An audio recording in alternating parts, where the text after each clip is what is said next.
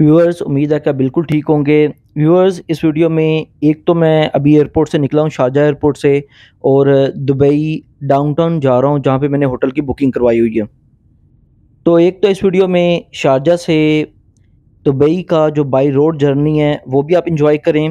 اس کے ساتھ ساتھ کچھ امپورٹنٹ پوائنٹس جن میں کار کو رینٹ پہ کیسے لینا ہے، ہوٹل کی بکنگ سے ریلیٹڈ کرنسی سے ریلیٹڈ اور ویزا پروسیس سے ریلیٹڈ ایک دو پوائنٹ پریویس ویڈیو میں رہ گئے ہیں، وہ بھی آپ کو انفارم کروں گا۔ ویورز شارجہ ایئرپورٹ میں اتر کے سب سے پہلے امیگریشن پہ گئے، وہاں پہ پاسپورٹ سٹیمپ کروایا۔ پاسپورٹ پہ جو سٹیمپ ہے، یہ آپ کی ٹریول ہسٹری بنتی رہتی ہے اور فیوچر میں آپ کو کسی بھی وقت یہ کام آ سکتی ہے۔ اس لیے آپ جو بھی کنٹری سلیکٹ کریں وزٹ کرنے کے لیے، تو یہ تھوڑا ضرور سرچ کر لیں کہ اس کنٹری کی جو سٹیمپ ہے پاسپورٹ پہ، اس کی ورتھ کتنی کنسیڈر ہوتی ہے۔ اس کے بعد سب سے زیادہ ضروری تھا یہاں کی سم لینی، تو وہاں پہ جا کے اتصلاح سے سم پرچیز کی۔ ان کے ڈفرینٹ پیکیجز ہیں جو آپ کو سوٹ کرتا ہے، جتنے دن آپ نے اسٹے کرنا ہے، اس کے اکارڈنگ آپ کوئی بھی سم پرچیز کر سکتے ہیں۔ اس کے بعد کرنسی ایکسچینج کروائی۔ یہاں پہ آپ جس بھی کنٹری سے آئیں گے، ان کا اے ٹی ایم کارڈ بھی چل جاتا ہے، لیکن اس کے چارجز تھوڑے زیادہ کٹیں گے۔ اور دوسری صورت میں پھر آپ کے پاس جو یہاں پہ درہم کرنسی ہے ان کی دبئی کی، وہ آپ کے پاس ہونی چاہیے۔ جہاں پر بھی آپ جائیں گے، ہر جگہ پہ آپ کو دونوں آپشن ملیں گی کارڈ کی آپشن بھی ملے گی اور کیش کی آپشن بھی ملے گی۔ تو میں آپ کو ریکمینڈ کروں گا کہ اوور چارجز سے بچنے کے لیے کیش کرنسی اپنے پاس رکھیں۔ جہاں بھی اور جتنی بھی آپ کی ضرورت ہے، اس کے اکارڈنگ کرنسی کو چینج کروا کے جو دبئی کے درہم ہیں، ان کو اپنے پاس رکھیں۔ اے ٹی ایم کارڈ اپنے پاس رکھیں بیک اپ کے لیے، ایمرجنسی کے لیے، کہ کسی جگہ پہ اگر آپ کے پاس کرنسی کیش اویلیبل نہیں ہے، اس وقت پھر آپ اے ٹی ایم کارڈ کو یوز کر لیں۔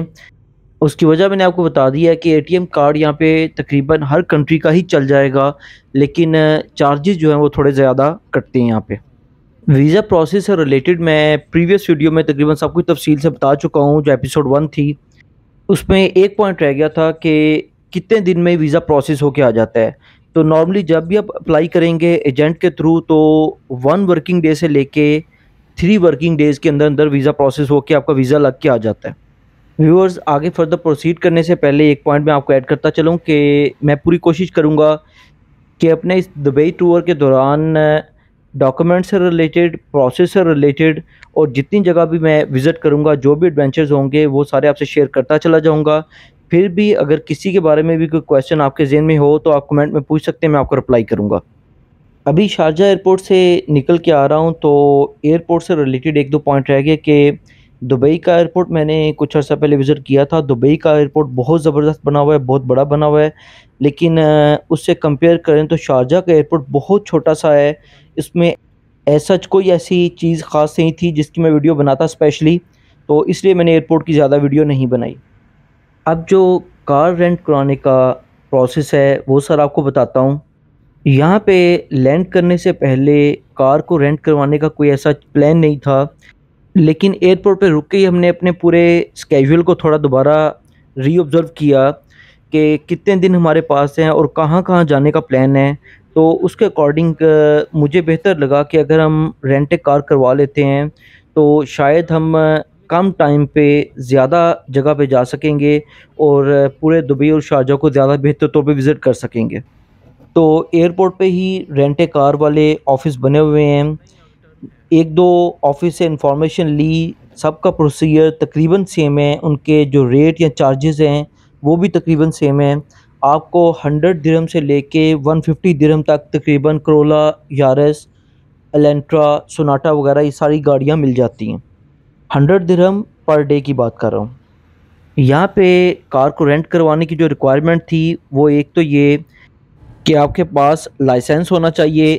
جی سی سی کے کسی بھی کنٹری کا لائسنس یہاں پہ چل جاتا ہے۔ اور میرے خیال کے مطابق جو ہے، وہ پاکستان انڈیا کا جو ڈرائیونگ لائسنس ہے، وہ بھی دبئی میں وزٹ ویزا کے لیے چل جاتا ہے۔ ہم نے جو کار رینٹ کروائی ہے، اس کے پر ڈے کے چارجز تھے ہنڈریڈ درہم۔ اور اس پہ آلریڈی یہ انشورڈ ہوتی ہیں۔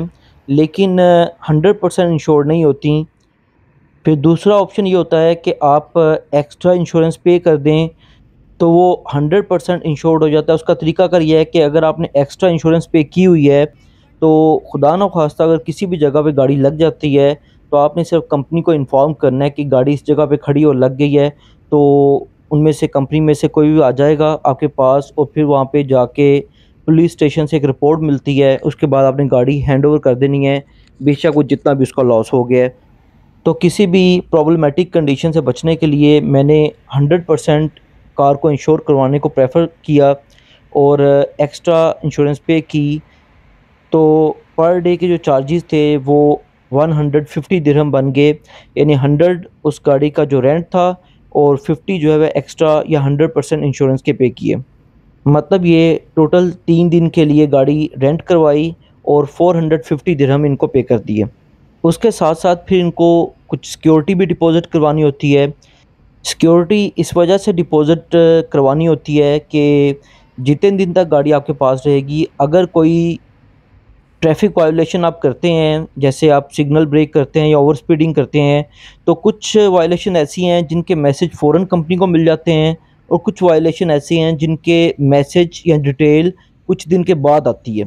تو جتنے بھی یہاں پہ رینٹ کار کمپنیز ہیں، وہ تقریباً سب کا ان کا یہی رول ہے کہ آپ کو تھاؤزنڈ درہم سے لے کے ففٹین ہنڈریڈ درہم تک ڈپوزٹ سیکورٹی کروانی پڑتی ہے۔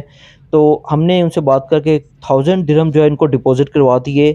اور جو سیکورٹی آپ ڈپوزٹ کرواتے ہیں، وہ آپ کو ود ان ون منتھ اگر کوئی وائلیشن رپورٹ نہیں ہوگی تو وہ اماؤنٹ جو آپ نے ڈپوزٹ کروائی ہے، وہ آپ کے اکاؤنٹ میں ری ڈپوزٹ کر دیں گی کمپنی وہ بے شک آپ پاکستان کا اکاؤنٹ دیا ہوا ہے، آپ نے سعودیہ کا اکاؤنٹ دیا ہوا ہے، انڈیا کا اکاؤنٹ دیا ہوا ہے، جس کنٹری سے بھی آپ آئے ہیں کمپنی آپ کے اکاؤنٹ میں ری ڈپوزٹ کر دے گی۔ اب آپ کو کچھ ہوٹل بکنگ سے ریلیٹڈ انفارم کرتا ہوں کہ میں نے جو ہوٹل بک کروایا ہے، دبئی ڈاؤن ٹاؤن میں بک کروایا ہے۔ ڈاؤن ٹاؤن ایک تو دبئی کا تقریباً سینٹر یا مین ایریا بھی ہے، اور دوسرا اس میں ایک ریزن یہ بھی تھی کہ ساری جو مین لوکیشنز ہیں وہ ایزیلی میری ایکسیس میں ہوں۔ اس وقت رات کا تقریباً ایک بجے کا ٹائم ہے، اور یہ رائٹ سائڈ پہ جو آپ کو سارا ایریا نظر آ رہا ہے، ہم دبئی میں تقریباً انٹر ہو چکے ہیں۔ یہ رائٹ سائڈ پہ سارا جو ایریا آپ کو نظر آ رہے ہیں، سامنے بھی میں نے کیمرہ کیا تھا، جو ایریا نظر آ رہا ہے، یہ سارا دبئی ڈاؤن ٹاؤن ہے۔ اور آپ کو برج خلیفہ کا امیج بھی تھوڑا سا نظر آنا شروع ہو گیا ہوگا۔ ویڈیو میں تو مجھے اندازہ نہیں کہ آپ کو اس وقت یہ سارا سین کیسا لگ رہا ہے، لیکن لائیو جو ہے، بہت زبردست نظارہ پیش کر رہا ہے یہ سارا سین۔ یہاں جو میں نے بکنگ کروائی ہے، وہ ایئر بی این بی کے ذریعے سے کروائی ہے۔ اس سے پہلے جو میں نے ریاض سیزن کے لیے ریاض گیا تھا، تو وہاں پر بھی میں نے ایئر بی این بی کا ایکسپیرینس کیا تھا۔ وہ ایکسپیرینس میرا بہت اچھا رہا تھا۔ تو یہاں پہ ایکسپیرینس کیسا ہے، وہ بھی میں آپ کو انفارم کروں گا۔ اس بکنگ میں مجھے پر ڈے فور ہنڈریڈ درم پے کرنے پڑ رہے ہیں اور تین دن کے لیے بکنگ کروائی ہے۔ لیکن ضروری نہیں کہ آپ بھی دبئی ڈاؤن ٹاؤن میں ہی بکنگ کروائیں۔ کئی ایسی لوکیشنز ہیں جہاں پہ دبئی میں آپ کو ون ففٹی درہم سے لے کے ٹو ہنڈریڈ درہم تک ایزیلی پر ڈے پہ روم مل جائے گا۔ اس وقت میں اپنی ڈاؤن ٹاؤن کی لوکیشن کے بہت قریب پہنچ چکا ہوں۔ سامنے یہ سارا سین دیکھیں، برج خلیفہ اور باقی جتنی بھی ساری بلڈنگز ہیں مین ہوٹل کی دبئی ڈاؤن ٹاؤن کی ساری آپ کو نظر آ رہی ہیں۔ بہت زبردست یہ رات کے وقت نظارہ پیش کر رہی ہیں۔ شارجہ سے دبئی کا جو ڈسٹینس ہے وہ تقریباً ٹونٹی ایٹ یا تھرٹی کلومیٹر کے اپروکسیمیٹ ہوگا۔ اور یہ ڈسٹینس گاڑی میں آپ بالکل آرام سے ڈرائیو کرتے ہوئے اپروکسیمیٹ ٹونٹی منٹ میں کور کر لیتے ہیں۔ رات کے اس وقت شارجہ سے دبئی کی طرف ڈرائیو کرتے ہوئے بالکل سچ کوئی مشکل پیش نہیں آئی۔ کیونکہ سعودیہ میں بھی لیفٹ ہینڈ ڈرائیو ہے اور یہاں پہ بھی لیفٹ ہینڈ ڈرائیو ہے اور دوسرا رات کے اس وقت جو ہے روڈ پہ زیادہ رش بھی نہیں ہے، تو اس لیے بہت سموتھ ڈرائیو رہی ہے اور بالکل بھی ایسا نہیں لگا کہ فرسٹ ٹائم یہاں پہ ڈرائیو کر رہے ہیں۔ ویورز یہ رائٹ سائڈ پہ رات کے وقت جو ہے برج خلیفہ کا ویو ذرا چیک کریں کتنا زبردست لگ رہا ہے۔ اس وقت میں اپنے ہوٹل کے بالکل قریب پہنچ چکا ہوں، تو کل جہاں بھی وزٹ کروں گا وہاں پہ جو پروسیئر ہوگا، جو کاسٹ آئے گی اور جو میرا ایکسپیرینس ہوگا، وہ سب کچھ آپ سے شیئر کروں گا۔ ویورز ویڈیو اچھی لگی ہو تو لائک شیئر سبسکرائب کریں۔ Okay viewers take care